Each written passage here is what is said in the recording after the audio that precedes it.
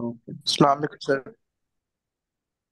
So, this, in this chapter, which is the chemical kinetics, इसके अंदर बहुत easy सा चैप्टर है कुछ बेसिक बेसिक से पॉइंट्स हैं एंड उनकी एग्जांपल्स के थ्रू थ्रू आपको वो अंडरस्टैंड होते रहेंगे जो बेसिक्स ऑफ़ दिस चैप्टर है, कि in this chapter we going to discuss the rates of the reaction जिस तरह हम लोगों ने केमिकल इक्विलिब्रियम पढ़ा था ना, जिसके अंदर हम लोगों ने कोलिगन थ्योरी को डिस्कस किया हुआ था, कि reactants with a certain energy, they, when they will collide, they will gi- collide to give the products. इसके अंदर हमें रेट्स ऑफ़ द रिएक्शन के अंदर भी तकरीबन ऐसी ही बातें पढ़नी है और हमने ये डिस्कस करना है कि ऑर्डर ऑफ़ द रिएक्शन क्या होता है रेट लॉ हमारे पास क्या होता है एंड टेम्परेचर का उसके ऊपर क्या इफ़ेक्ट होता है रेट ऑफ़ द रिएक्शन के ऊपर एंड लास्टली हम लोग इसमें डिस्कस करेंगे कि केमिकल रिएक्शन के मैकेनिज्म्स क्या होते हैं। So we going to focus on a few topics today and उसमें सबसे पहले हमारे पास जो पॉइंट आता है दैट इज़ द क्या कहते हैं okay first let me answer the question तला that you asked if you go to the very last of this chapter, na, you will find that gives energy and their feasibility of the reaction, you would see कि if g is negative or equals to zero, the reaction is feasible और वो तमाम चीज़ें वो जो मैंने आपको refer किया था ना उसके अंदर। We'll get back to this, वो इस चैप्टर के एंड में हम लोगों ने उस पॉइंट को डिस्कस करना। है ठीक है? तो जो very first topic which is the rate of the reaction उसमें उसकी definition you need to memorise कि what is the rate of the reaction rate of the reaction is defined as a change in the concentration of reactants और products over a period of time ठीक है? तो rate का मतलब हमें पता है रेट का मीनिंग क्या होता है? Whenever a rate is वहाँ से इसका मतलब होता है कि we have to see the on going reaction with respect to time so the concentration the rate of reaction is defined as a change in the concentration of reactants और products over a period of time we know that कि whenever a reaction is taken place तो reactants की concentration क्या होगी? Decrease करेगी और product की क्या करेगी? Increase. करेगी.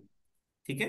तो हमारे पास जो reactants और वो आता है प्रोडक्ट का उसके अंदर हम लोगों ने वो डिस्कस करें rate of the reaction is के रिएक्टेंट्स डिक्रीज कर रहे हैं एंड प्रोडक्ट अकॉर्डिंगली क्या कर रहा है इंक्रीज कर रहा है so as you could see in the following graph let me take you there and then I will make read it to you once we are done understanding that so in this graph we can see कि reactants क्या कर रहे हैं? Decrease कर रहे हैं and product हमारे पास क्या कर रहा है? इंक्रीज कर रहा है।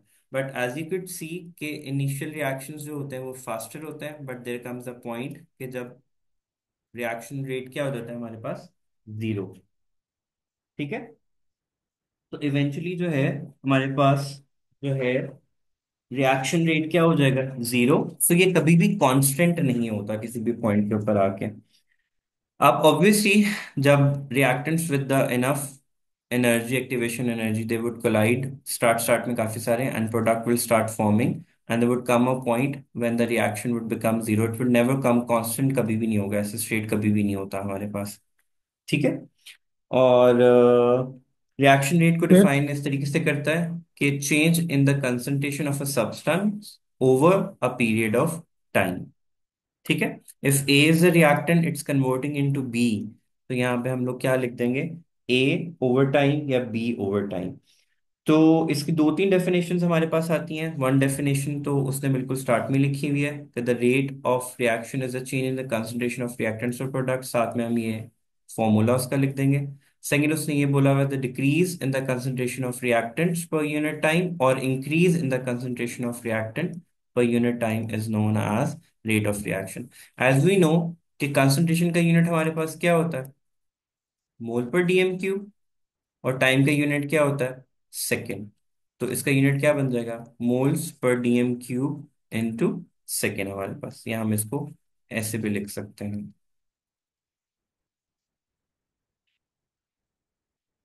Okay okay?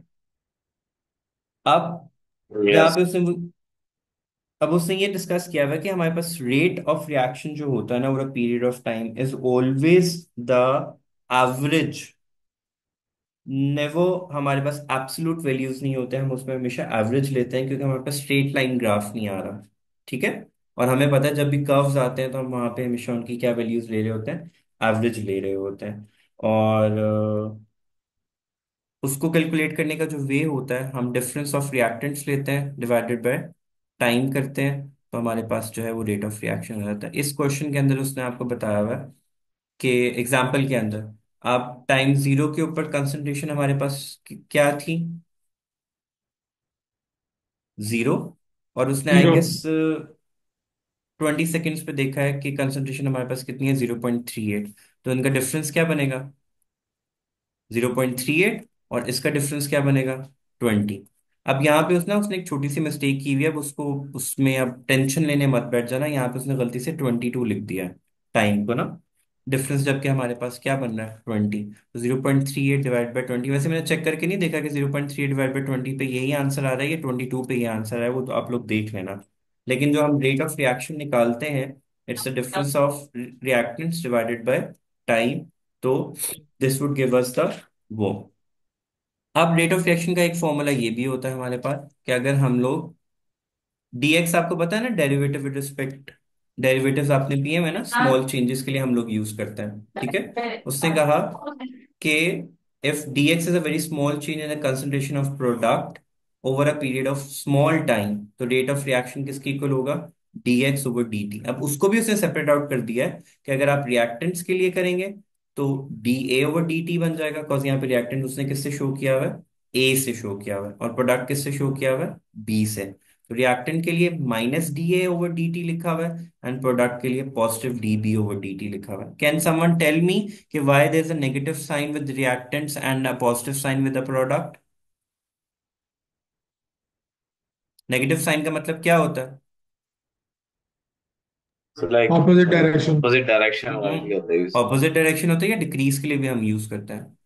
डिक्रीज के लिए भी करता है थोड़ा ठीक है? क्योंकि हम रिएक्टेंट के साथ नेगेटिव का साइन लगा रहे हैं तो हम पहले ही बात कर चुके हैं कि decrease in the concentration of reactants और increase in the concentration of product over time is known as rate of reactants इस वजह से उसने यहाँ पे माइनस का साइन यूज़ किया हुआ है यहाँ पे पॉजिटिव का साइन यूज़ किया हुआ है। और उसने यहाँ पे उसको जस्टिफाई भी कर दिया हुआ है The negative sign indicates a decrease in the concentration of reactant A whereas positive sign indicates the increase in the concentration of product B.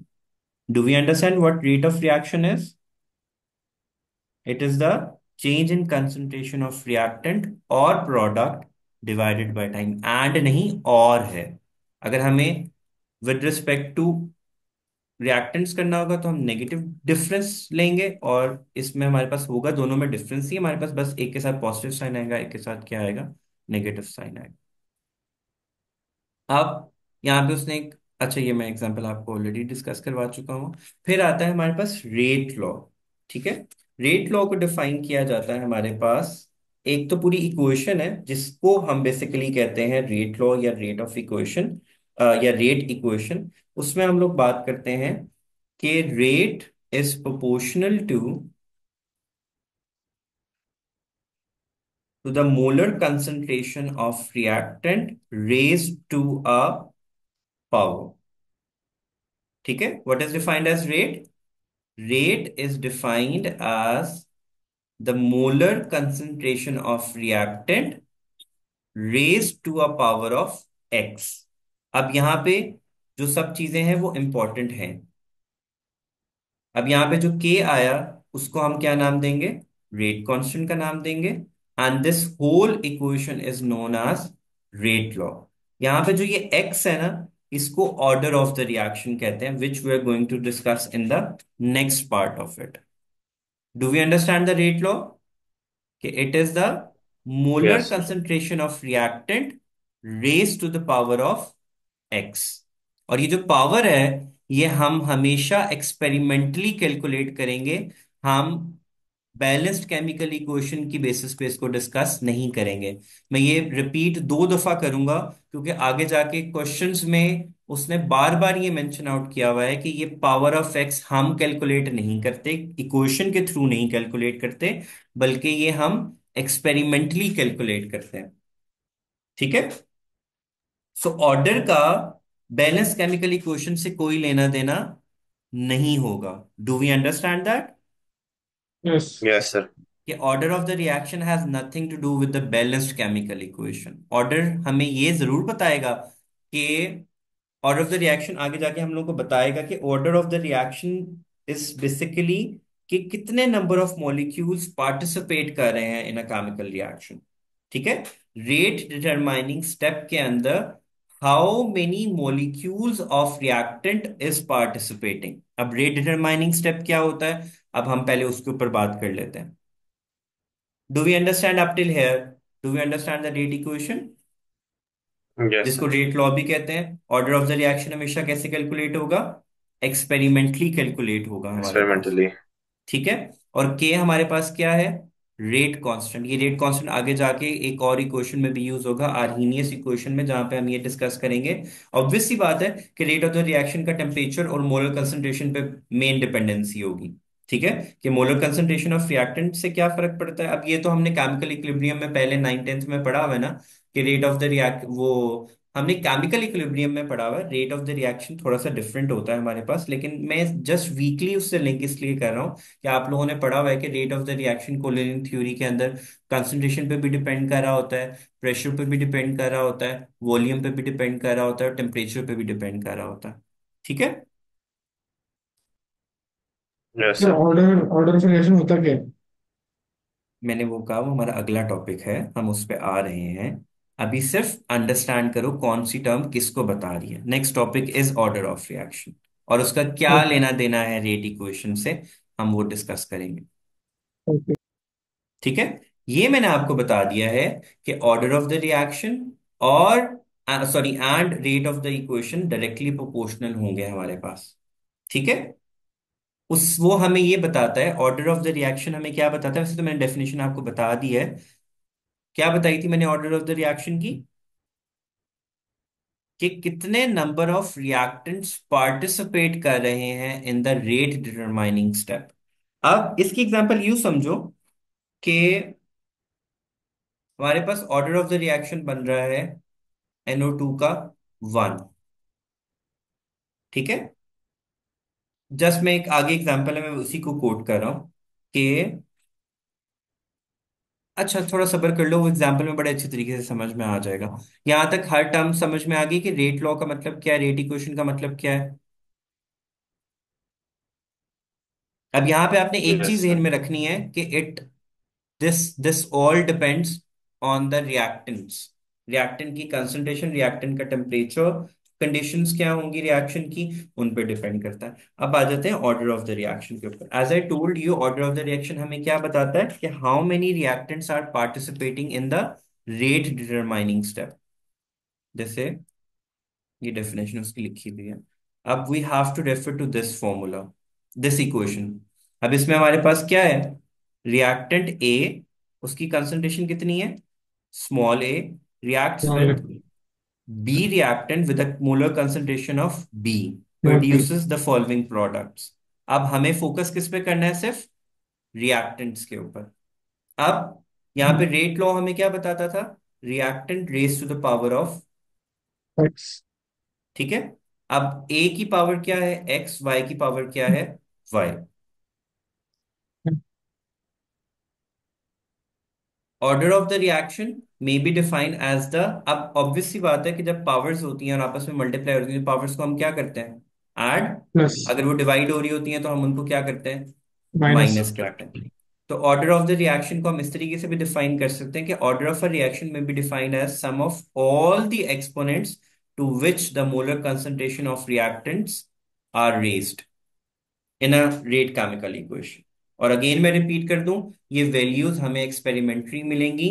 हम इसको बैलेंस केमिकल इक्वेशन से नहीं लेते हैं। ये उसने यहाँ पे दोबारा भी मेंशन आउट आप ये आप हर स्टेप पे देखोगे, क्योंकि वो बार बार इस चीज़ को रिपीट करेगा। कि the order of reaction for a particular species can not be predicted by looking at the balanced chemical equation it can only be determined by a experiment जैसे in the following example 2NO2 reacts with ozone to give N2O5 and O2 अब rate of reaction के अंदर कौन कौन कौन कौन से लिखेंगे? हम इन दोनों को लिखेंगे या इन दोनों को लिखेंगे? NO2 एंड O3 को लेंगे या N2O5 एंड O2 को लेंगे? तो रिएक्टेंट्स को लेंगे। क्या डेफिनेशन थी को? रेट ऑफ़ द रिएक्शन क्या था? Molar concentration molar raise concentration of to a. Power ठीक है? अब ये मोलर कंसंट्रेशन ऑफ़ ए आ गया ये मोलर कंसंट्रेशन ऑफ़ क्या आ गया? बी। B. उनकी पावर इन्होंने यहाँ पे जब कुछ नहीं लिखे हुए इट मीन इसका मतलब क्या है? वन ऑर्डर ऑफ़ रिएक्शन हमेशा मेंशन्ड होगा केमिकल इक्वेशन के अंदर। ठीक है? और वो एक्सपेरिम केमिकल इक्वेशन कह रहा हूँ। मेंशन आउट होगा रेट लॉ के अंदर। अब इन दोनों की पावर क्या बन रही है? वन विच मीन्स इनका ऑर्डर क्या. बनेगा? Two. टू हमारे पास which means rate determining step में one mole of NO two and one mole of O three is participating ठीक है? अब यहाँ पे उसने लिखा भी हुआ order with respect to NO two is one whereas its stoichiometric coefficient is two वो उसने अगेन ये रिपीट कर दिया कि यहाँ पे उसके साथ क्या लगा हुआ है? टू लेकिन यहाँ पे उसकी पावर क्या है? वन तो अगेन ये चीज़ ध्यान रखनी है कि स्टिचोमेट्रिक कैलकुलेशंस का मतलब ये होता है जो बैलेंस केमिकल इक्वेशन हमें बता रही होती है। रेट लॉ के अंदर उसका कोई लेना देना नहीं होता, इनकी पावर्स एक्सपेरिमेंटली डिटरमाइन की जाती है। Okay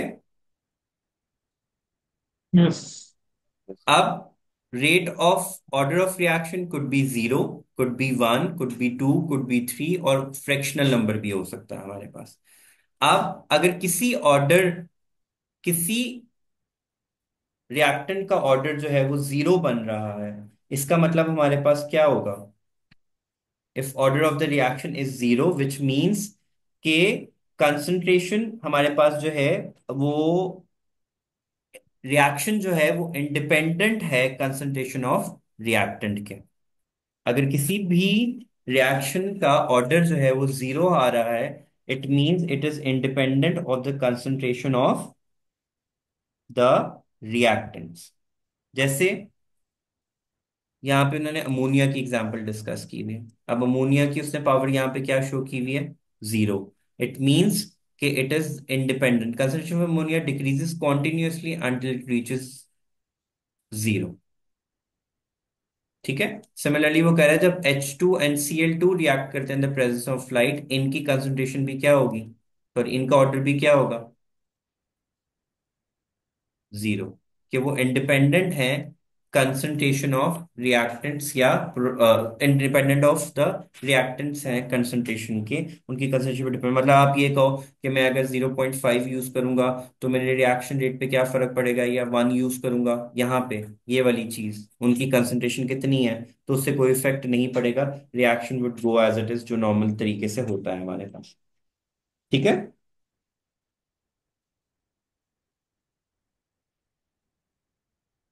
अब फ़र्स्ट ऑर्डर रिएक्शन ये हमारे पास समझ आपने जो कहा।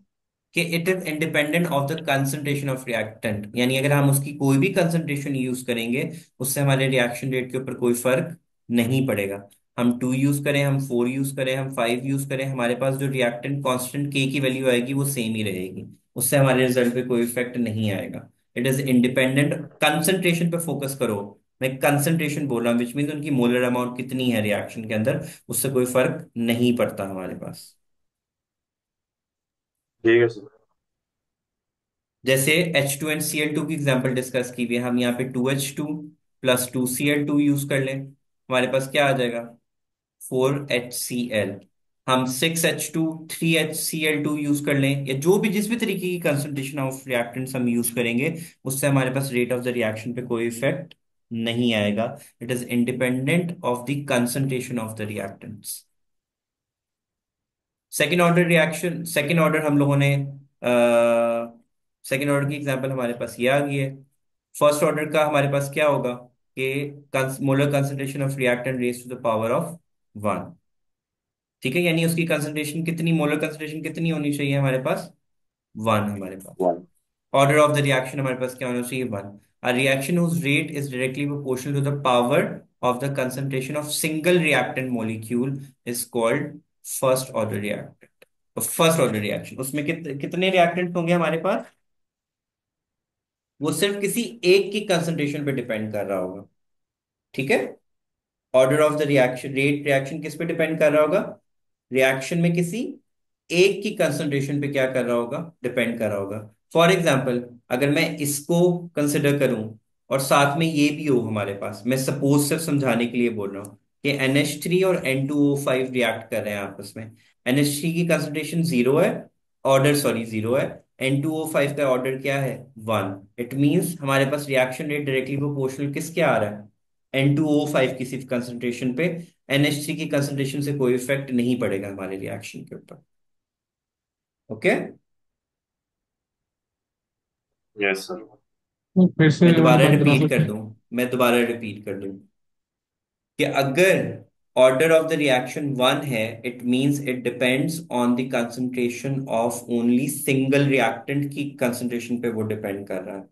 अगर हमारे पास नंबर ऑफ़ रिएक्टेंट्स प्रेजेंट हैं रिएक्शन रेट के अंदर तो उनमें से वो किसी सिर्फ़ एक के ऊपर डिपेंड कर रहा होगा।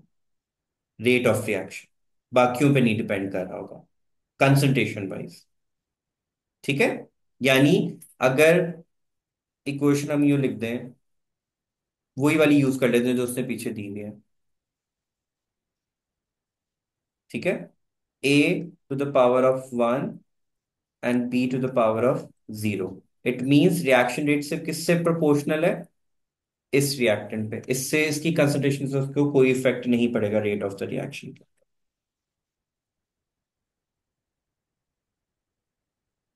डू यू अंडरस्टैंड नाउ तला समझ में आई यस बात?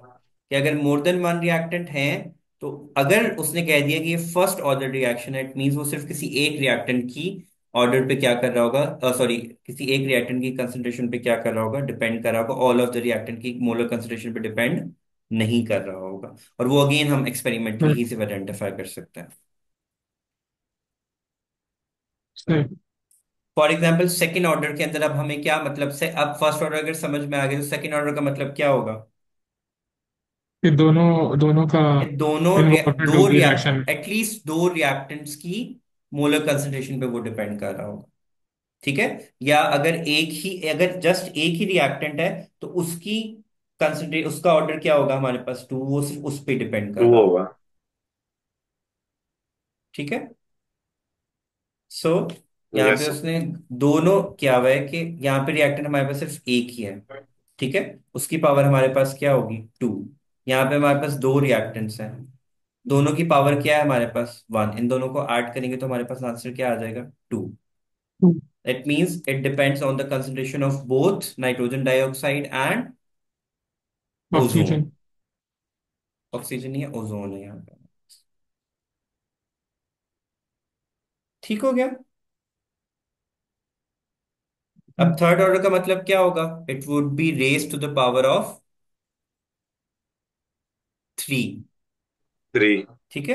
It would be raise to the power of three अब वो किसी एक रिएक्टेंट पे भी डिपेंड कर सकता है वो किसी दो रिएक्टेंट्स पे भी डिपेंड कर सकता है वो तीन रिएक्टेंट्स पे भी वो डिपेंड कर सकता है। रेट उसने तीनों डेफिनेशंस यहाँ पे लिख दी हैं कि इंडिविजुअल पे भी कर सकता है किसी एक का ऑर्डर टू और किसी का एक वन हो सकता है, ये सबका ऑर्डर क्या हो जाएगा? वन बट सम उनका किसके इक्वल होना चाहिए? थ्री के इक्वल होना चाहिए। जैसे उसने ये क्वेश्चन बताया। इसमें एनओ की ऑर्डर क्या होगा? टू इसका ऑर्डर क्या होगा? वन तो इन दोनों को ऐड किया तो हमारे पास क्या आ गया? थ्री इसमें एफईसीएल का ऑर्डर क्या है? वन और के का ऑर्डर क्या है? टू इनको ऐड किया तो हमारे पास क्या आ गया? थ्री अब ऑर्डर से हमें ये भी अंदाज़ा होता है विच इज़ विच इज़ किसकी पार्टिसिपेशन ज़्यादा है रेट डिटरमाइनिंग स्टेप में? किसकी होगी? जिसके अंदर ज़्यादा हायर जिसका ऑर्डर ज़्यादा होगा हमारे पास। ठीक है? फ्रैक्शनल में हमारे पास क्या होगा? It would be dependent on the fraction of something तो वो फ्रैक्शन में हमारे पास आ जाएगा reaction rate a reaction for which the sum of exponent is in the fraction H B R के केस में एच का ऑर्डर क्या है? वन और बी आर का क्या है? हाफ़ तो ऑर्डर ऑफ़ द रिएक्शन क्या बन गया? One point five C H C L three के केस में इसका ऑर्डर वन है एंड आई डोंट सी ये क्या वैल्यू बन रही है? अपनी बुक्स में देखो. वन ओवर सिक्स बन रही है वन ओवर फोर लिखा हुआ है? क्या लिखा हुआ है? सर टू टू तो फिर यस वन पॉइंट फाइव ये भी वन पॉइंट फाइव ही बन जाएगा। नहीं ये वन पॉइंट हाँ ये भी वन पॉइंट फाइव ही बन जाएगा हमारे पास। Sir yes order of the reaction से यानी क्या रेट ऑफ़ रिएक्शन स्लो और तेज होने का इफ़ेक्ट होता है? हाँ जी रेट डिटरमाइनिंग स्टेप के ऊपर वो बिलोंग करता है हमारे पास। उसकी बेसिस पे रेट या तो तेज हो सकता है या तो स्लो हो सकता है। हाँ जी हाँ जी। लास्ट हमारे पास है सुडो फ़र्स्ट ऑर्डर रिएक्शन तो इसकी सिर्फ़ डेफिनेशन इंपॉर्टेंट है. A bimolecular reaction for which solvent is in excess and its concentration remains constant and does not take part in the rate determining step is called pseudo first order reaction अब इसमें water क्या है? Access में है. ठीक है? So I bimolecular reaction bimolecular आपको पता ही है टू मॉलिक्यूल्स उसमें इन्वॉल्व हो रहे हैं। For which solvent is in excess H two O is in excess और उसकी कंसंट्रेशन क्या रहती है? It remains constant through and वो रेट डिटरमाइनिंग स्टेप में कोई भी पार्ट प्ले नहीं कर रहा हो तो such a reaction is known as pseudo first order reaction हमारे पास। ठीक है? अब determining determination of reaction order and reaction rate को मैं आपको इस एग्जांपल से डिस्कस कर देता हूँ। थ्योरी आप लोग बाद में रीड कर लेना। हमारे पास इसमें रिएक्टेंट्स हैं। NO एंड O3 हम ये ऊपर कर चुके हैं। इसका ऑर्डर क्या बन रहा था? एनओ और ओ थ्री का ऑर्डर क्या बन रहा था? टू बन रहा था थ्री बन रहा था। ये थर्ड ऑर्डर रिएक्शन था हमारे पास। या two order two order second order reaction second order reaction था ये हमारे जैसे पास। सेकंड ऑर्डर ठीक है? रिएक्शन था। अब उसने कहा कि हम कैसे कंसंट्रेशन से इस चीज़ को आइडेंटिफाई करेंगे कि एक्चुअली में दे आर ओनली बोथ का रेट कैसे डिपेंड कर रहा है उसके ऊपर। अब इस एग्जांपल में देखो यहाँ पे कंसंट्रेशन ऑफ़ एनओ क्या है? One and initial concentration of oxygen क्या है? नाइन तो हमारे पास रेट क्या निकला? 1.98 यहाँ पे NO की कंसंट्रेशन को डबल कर दिया। ओ की कंसंट्रेशन को क्या रखा? सेम ही। हमारे पास आंसर क्या आ गया? Three point nine six into power four अगर हम इनकी रेशो ले लें रेशो से हमें अंदाज़ा हो जाएगा कि इनके ये इसका रेट डिटरमाइनिंग स्टेप के ऊपर क्या इफ़ेक्ट पड़ रहा है। दोबारा गौर से सुनो। एग्ज़ाम्पल में वो, इसमें देखो एनओ की कंसंट्रेशन उसने क्या कर दिया? डबल और ऑक्सीजन ओजोन की कितनी रखी है? सेम और उससे रेट डिटरमाइनिंग की वैल्यू ये निकली है। एक्सपेरिमेंटली कैलकुलेटेड है। ठीक है? ये एक्सपेरिमेंटली कैलकुलेटेड रिजल्ट्स है, हमने कुछ भी नहीं किया। अब हमने सिर्फ़ ये देखना है कि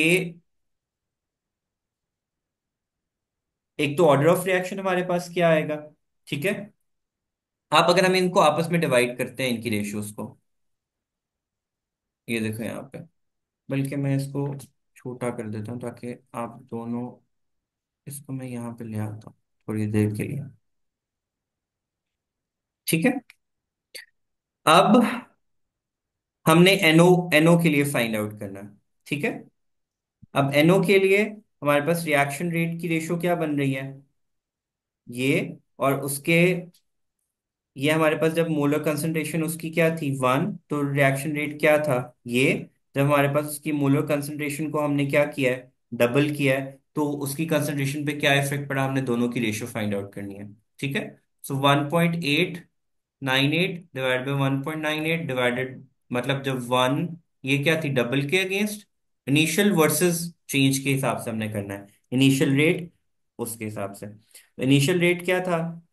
हमारे पास ये और इसका जो कंसंट्रेशन को डबल करने से बना तो क्या रेट आ गया ये? डिवाइडेड बाय उसने यहाँ पे उसकी डेफिनेशन भी लिखी होगी। अ, अच्छा खैर, यहाँ से देखो तो हमारे पास वन रेशो टू निकल रहा है हमारे पास। ठीक है? कि अगर हम इनिशियल रेट हमारे पास क्या हो रहा है? डबल हो रहा है। It's directly proportional to the first order power concentration of NO हम ओजोन के पास